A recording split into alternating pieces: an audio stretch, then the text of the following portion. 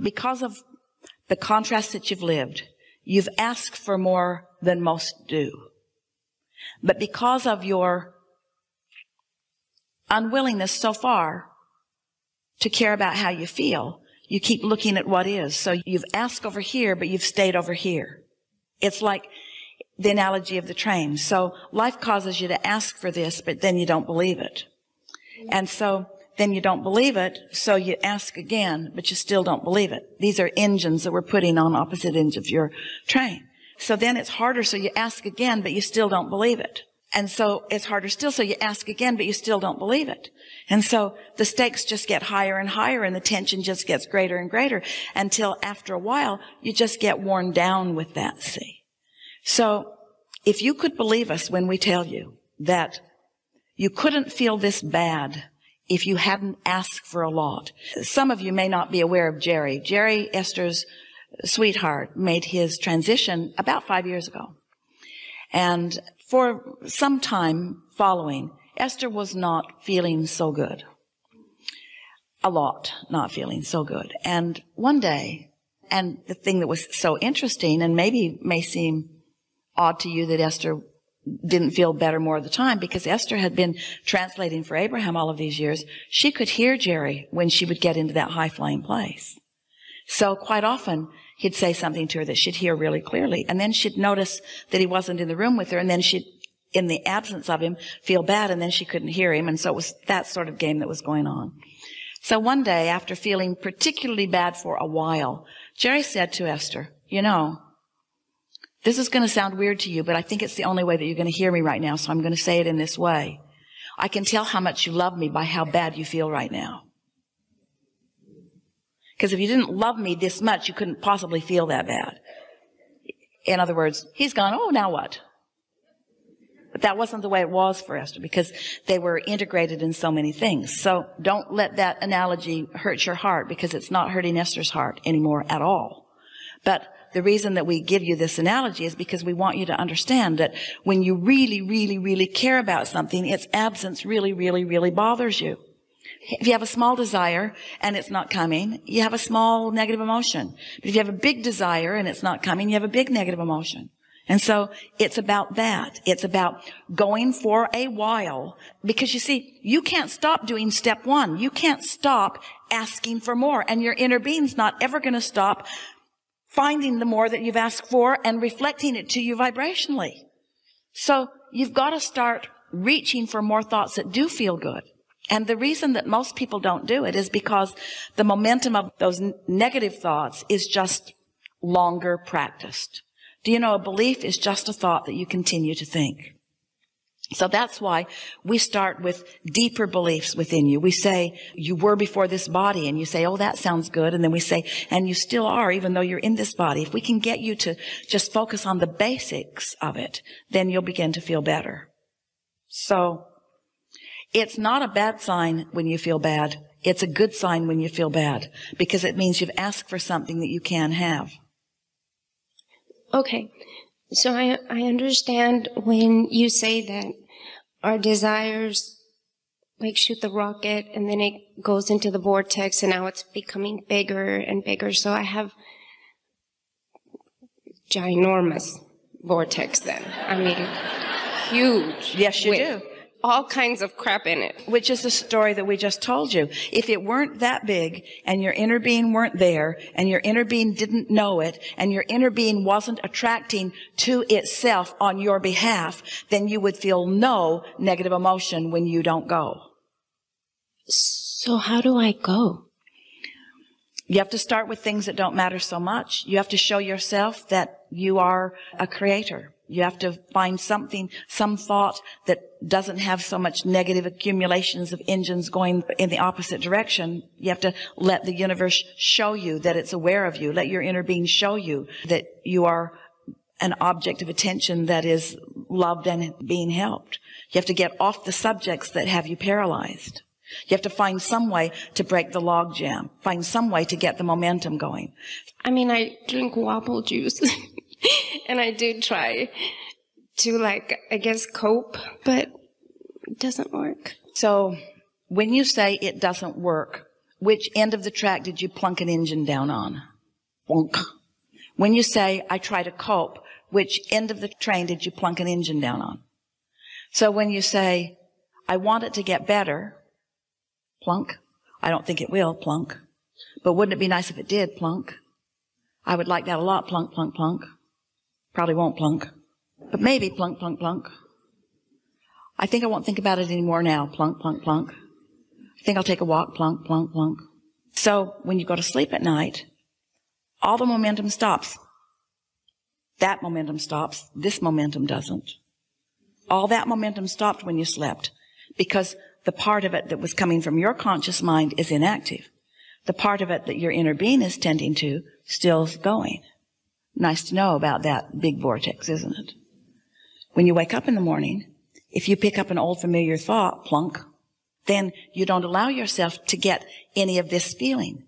It wouldn't take much. It would only take a day or two of when you wake up saying, wait a minute, the momentum stopped while I slept, and now I'm just going to do my best to not think about things, not get too serious about anything. It would not take long. All right, so we have some questions for all of you, especially you, but for all of you. Especially you, but for all of you. Do you understand the concept of momentum? Do you ever feel paralyzed in your own life? Do you ever get up with things that you need to do and just spin around in circles and don't really get anything done. And while it's happening, do you talk to yourself sternly? I should be getting something done. Does it help? Does it inspire you? So the question that you ask, such a good question, is how do I break the log jam?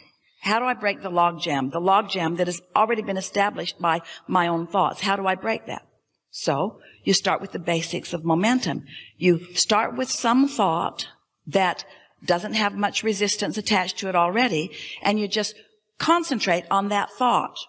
Because a thought that is not contradicted will gather its own momentum. We want to demonstrate that with our train. You think you thought about anything, you choose one, plunk. Only think about that. Plunk.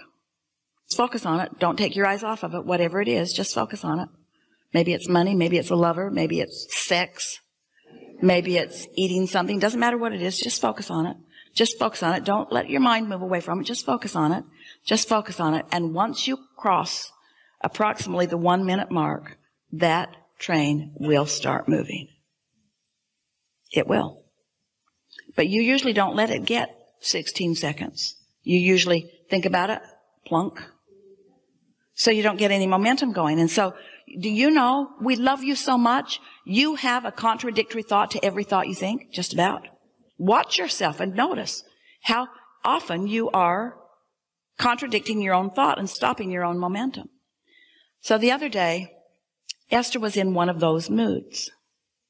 And she said to herself, there are so many things that I need to be doing right now and I don't feel like doing any of them. Our goal wasn't to get her to feel like doing those things she didn't want to do. We didn't think she should do those things she didn't want to do. Do you know that's what's got most of you paralyzed? You think that you're supposed to want to do things you don't want to do. So you're thinking, when you say, I should do it, which end do you put that engine on? Does it go over here or over here? I should do that. I'm bad for not doing that.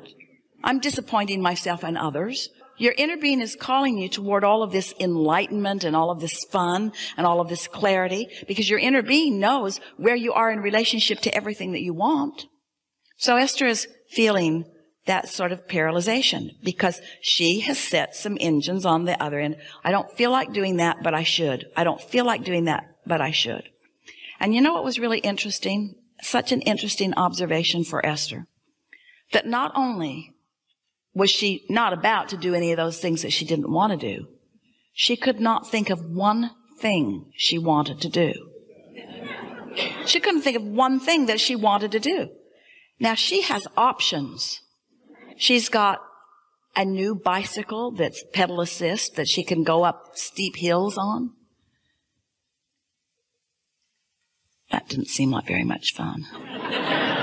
She has a beautiful beautiful little car in her garage that goes zero to 60 in about half a second, begging for her to drive it. She dusts it off every now and again. That didn't inspire her. She couldn't think of anybody she wanted to call. So she sat down. She thought, I'm in a funk. I'm paralyzed. All that stuff I need to do, and I don't feel like doing any of it. And then she thought, be nice if I could get a thought moving.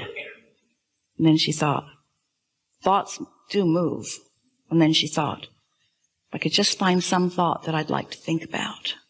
And she thought, but I can't think of any thoughts that I want to think about. And then she thought, but there must be some thought that I'd like to think about. And then she thought, but I can't think of any thoughts to think about. And then she thought, I should make my bed. And then she thought, I don't feel like making my bed. and then she thought, maybe I'll go outside. And then she thought, no, it's raining outside. And then she thought, well, maybe I'll go in this room. And so she went in that room and she thought, I don't really care about being in this room either. And then she thought, am I just going to sit here and die? Is this what no life flowing through you is really like? Is this what it feels like to have no life flowing through you at all? There must be something that I might be interested in. There surely has to be something that I could be interested in. There has to be something in this beautiful world that would catch my interest. There, I just know there's something in this world that I could be interested about. And then the word Pinterest came into her mind. Pinterest and interest. Now, Tracy's been after her to look at Pinterest. Tracy sends her things from Pinterest all the time. Esther, she didn't ever want to look at Pinterest because she did not want to be distracted from the things she needed to do. Esther's been saying for a very long time, I have so much to do, I don't need any of these frivolous hobbies. In fact, every time Tracy's on Pinterest, Esther thinks she should be doing something more productive. So Esther had herself in a real box because there was nothing that she wanted to do that she, she thought she should only do things that she should do and she didn't want to do anything that she should do. Pinterest is in her mind. She thought, hmm. So she downloaded the app. was far simpler than she thought it was going to be. And then she made up a username and a password. And then it showed her some things. And then there was a search bar and she thought, hmm, I wonder what I could look at. And then it showed her some options. And then she clicked on a recipe.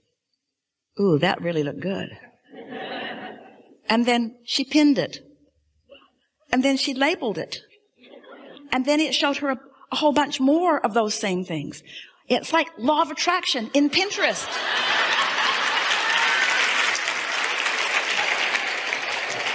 and then Esther thought, anything that I could want to think about it. And then she thought, ooh, I'm looking for some art for my Spencer house. So she looked up art, Renaissance, and all this stuff came up. And all of these artists, and she started clicking. Three hours later, three hours later, Esther had pinned not fewer than a thousand things. and labeled each one of them in neat little categories. Her juices were flowing. And then, ooh, then she just got the best idea. She's looking through all of these classical pictures not realizing that she really didn't even know who many of these artists were. And she focused upon the artist of Monet and saw this still picture of these flowers. And Esther thought, whew, I'm going to take this picture down to my company that makes flower arrangements for me, and I'm going to have them make me that flower arrangement, that one right there. And then she couldn't get in her car fast enough and zero to 60 in one second. In other words, all it takes is a little priming of the pump. All it takes is, first of all, knowing that momentum will carry you and giving yourself a chance to do it. Just making the decision. You don't want to be in a funk. Just making the decision. You don't want to be in a funk. Law of attraction won't let you be. We've gone way over time for this segment. The cameras are screeching at the end of their tape rolls. We're going to take segment of refreshment and we know that you're in the place that you were asking for. Just take it easy. Good time for a segment of